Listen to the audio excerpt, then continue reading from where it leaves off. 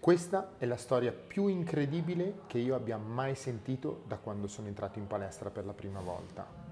E adesso sigla.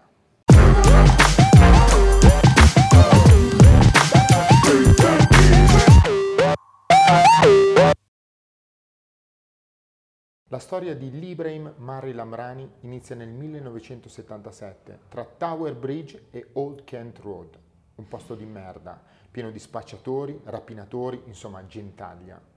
La madre aveva conosciuto a Gran Canaria un cuoco marocchino, era rimasta subito incinta, era tornata a Londra e lì aveva partorito lì, il piccolo lì. Il marito aveva continuato a vivere mm, a Gran Canaria facendo insomma il cuoco in uno di quei villaggi turistici per inglesi.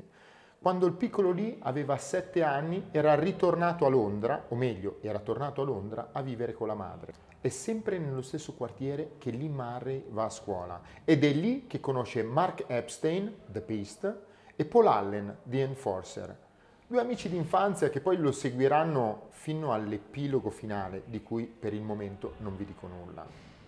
Mettono insieme una piccola banda, i Buttermash Boys, che insomma a un certo punto scatenano una guerra contro i nigeriani che avevano in mano il traffico, il traffico di droga ovviamente, e vincono, li mandano via.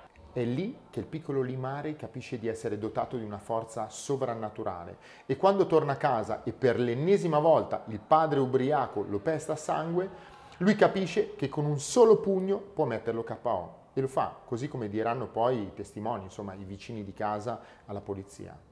La storia di Limare è pazzesca perché in pratica mette in piedi questa gang, eh, gestisce il traffico di droga e non so come si dica in italiano quando, quando vai a chiedere il pizzo, ecco, quando vai a chiedere proprio il pizzo nei negozi. Insomma diventa uno dei peggiori figli di puttana della storia.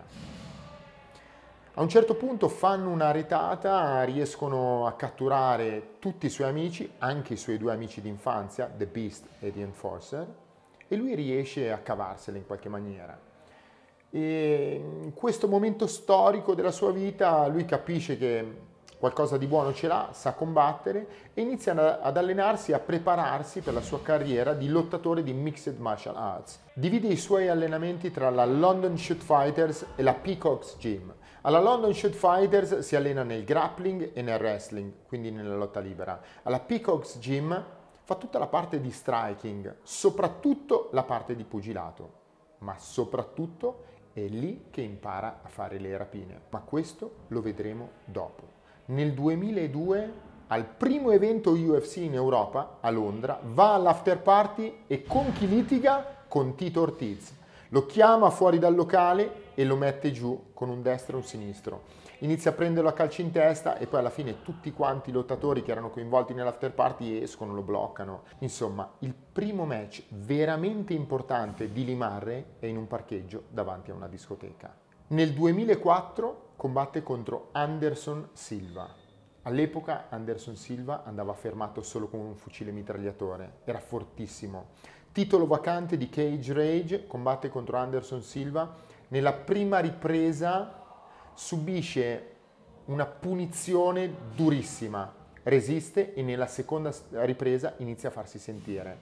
Insomma, riesce a fare 5 riprese con Anderson Silva nel suo prime time. Di lì a poco sarebbe diventato campione di UFC nei pesi medi e lo sarebbe rimasto per un numero di giorni che è ancora un record. Il 28 settembre 2005 Lee Murray viene accoltellato quasi a morte, più di 30 coltellate, sempre nel parcheggio di una discoteca. Era andato a una festa di una starlet inglese e ne esce quasi morto. Questa è l'ultima nota di colore, prima del suo arresto nel 2006 in un centro commerciale a Rabat. In pratica Lee Murray, assieme ai suoi compagni d'infanzia, gli stessi che aveva conosciuto a scuola, con cui aveva battuto i nigeriani nel quartiere dove era cresciuto, mette in piedi una rapina mostruosa. In pratica è la rapina in tempo di pace che colleziona più soldi in assoluto. Vengono presi quasi tutti. Lui viene preso appunto a Rabat, suo padre marocchino, l'Inghilterra chiede l'estradizione ma ad oggi ancora niente.